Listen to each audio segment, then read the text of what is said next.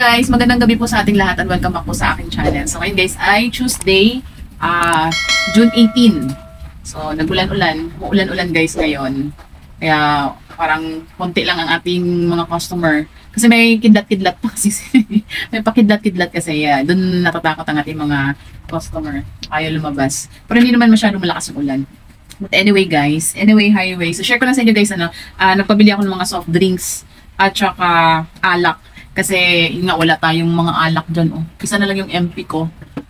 Nagpabili ako dito malapit sa amin na wholesale. Pero konti lang yung pinamili ko guys. Para at least meron lang tayo sa ngayon this week. Kasi baka next week or next next next week pa ah, mag-grocery kami. So ayan, ah, nandito yung ating mga napamili guys sa labas. Ayan. So nga pala guys, mamaya lalagyan ko tong aking mga bigas kasi wala nang laman. Nandito naka-ready na yung ating ilalagay. Ayan. So punta muna tayo sa labas. Ano. Ayan.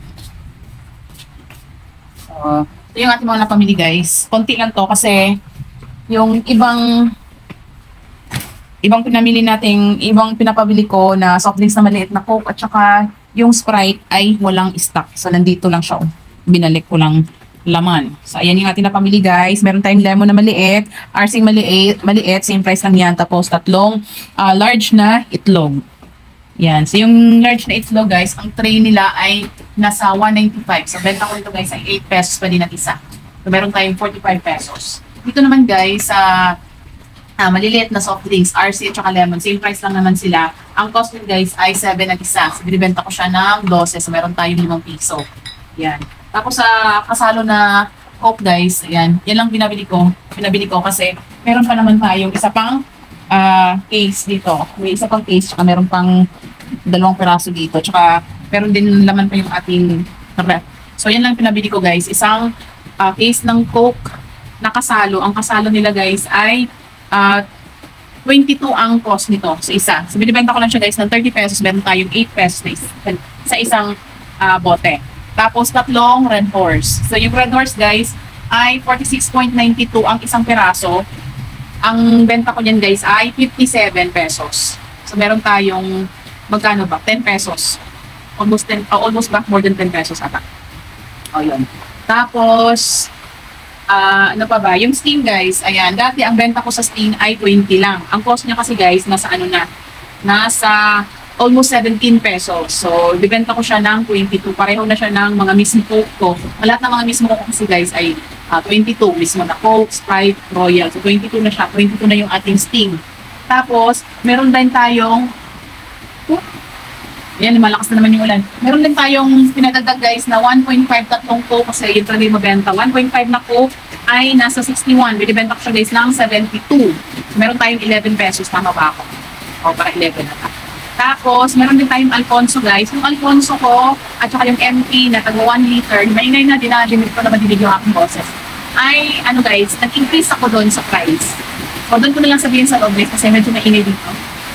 Tapos meron tayong wawang nakaton. Yan, 10 piraso. Ang isa nan guys ay 20 pesos. Binibenta ko per isang box ay 25. So, 5 ng akin. Pero pag per ano siya guys, yung per capit, 6 pesos o 30 pesos. So, meron tayong 10 pag ano nakabitahan. Tapos, ano pa ba? Meron tayong Fortune, Fortune Light, dalawa lang. Yan. Tsaka Malboro Light, dalawa din. So, same price pa rin yun guys. Ang aking bintahan yan. Dalhin ko lang ko sa loob. Yan, yung itlog, baka matalsi ka ng ulan, dalhin ko din dito. Kanin ko lang yung itlog guys. Ano? Ay.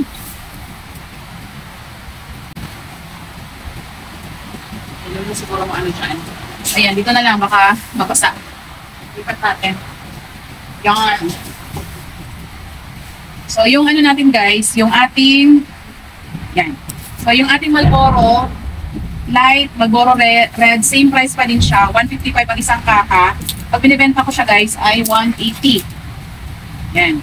So kung 180 sa isang kaka minus uh, 155, meron tayong 25 pesos sa isang kaka. Ang bentahan ko dito guys ay 9 pesos per stick. Yan. Tapos pag fortune naman guys, 8 pesos. Same pa din. Tapos ang isang kaha ay 160. Yan. Tapos, yan, tapos na tayo sa katol. Ano pa ba? Yun guys, yung ano natin, yung MP na 1 liter, dati ang ang cost niyan guys ay 170. Dati ang benta ko niyan ay 190 lang. Nasa 11% lang ata pag ano. Tingnan natin ha. Kung 190 ang aking benta, less 170, meron tayong 20 pesos. Divide natin sa cost na 170. So, nasa 11.76% lang guys. So, ngayon, ah mag ano ako guys, mag-i-increase ako ng price. Gagawin ko na siyang 15%. So, kung sa 15% guys, 170 times 15%. So, bentahan natin guys, nasa ano siya, 195.50. Pero gawin ko na lang siyang 195. Ang aking MP, kunin ko lang guys, ano sa lang. Yan, yung MP natin at saka yung Alfonso. Isang litro. Ang dadalawa lang naman to guys. So, gagawin ko na siya 195. Tapos yung Alfonso natin guys, ah ang isa niya ay 271. Dati ang benta ko ay 300 lang. So, meron lang tayong 29 pesos. So, kung sa 29 pesos, ilang percent siya? Ah 29 divide cost na 271. Yung 29 guys, yun yung kita ko, ano? So, nasa 10.70% lang. So, gagawin ko siyang 15% na. So, nag-increase ako guys.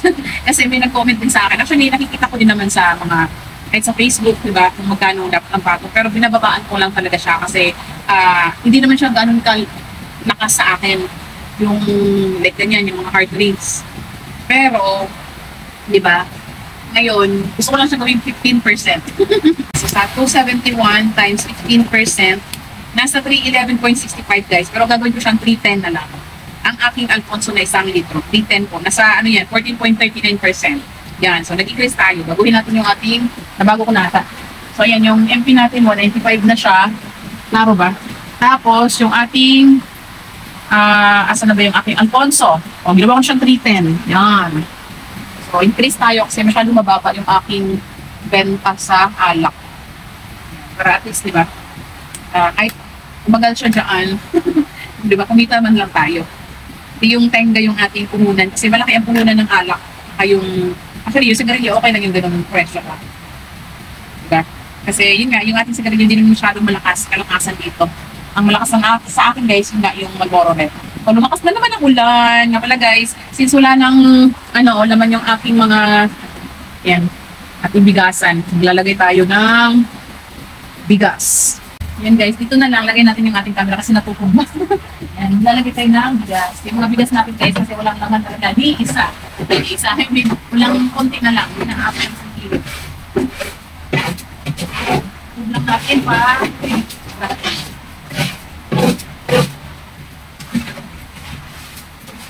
Ay, dito na lang pala saan. Lipat natin yung camera. Yan, dito na lang. Yan. Oops.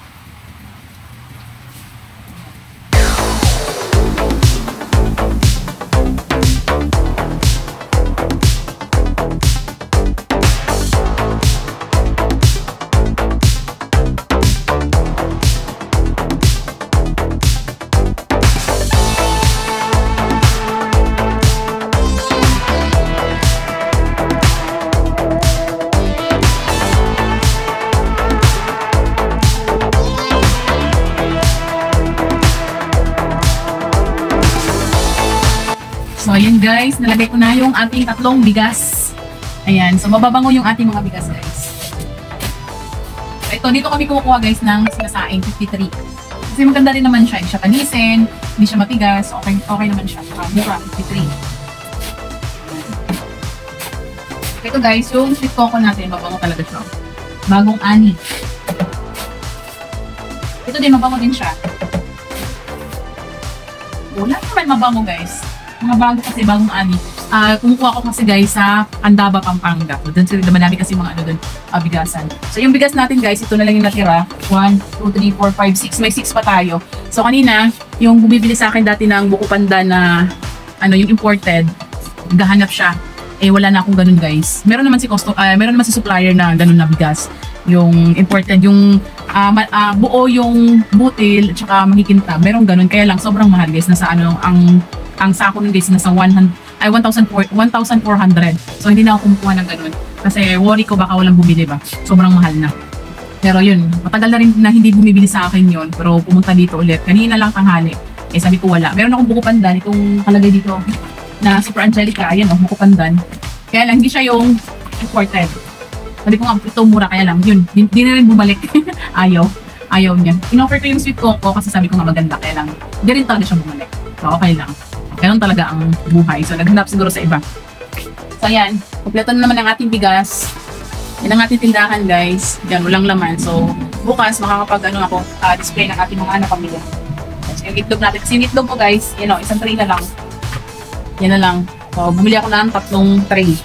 Tapos, sobrang daming lamok, guys. Kasi dito, sa, ano namin, sa lugar namin, yung harap namin ng, ano, yung harap kasi namin, di ba, is yung ano yan, yung palayan. Ah, inano na kasi nila, guys, tawag dito. Inararo na ba? So, lahat ng mga lamok, nagsialisan dyan, nag, nagsilipatan sa mga bahay-bahay, kaya sobrang dami talagang lamok. Ay, nako. So, yung katol natin, mabilis maubos. Talagang ang binibili ng mga customer ay tagi isang karton. Yan. So, bumili ako ng 10 karton. Yan. 2, 4, 6, 8, 10. Yan. So, meron tayong wawang karton. So, ito talaga yung mabenta guys, yung wawang karton. Yan. So, anong oras na ba? Time check guys. Nasa 8.16 na pala. So, magsasara na rin pala ako ng tindahan. So, yung ating mga napamili, ayan, madami tayong mga bakante guys. So, balik tayo sa loob. Mamaya guys, magsasara na rin ako. Kasi parang wala na rin namang bumibili, maulan kasi. So, yun lamang guys, ang aking sinishare. Maraming salamat sa panonood. Pala, bye-bye.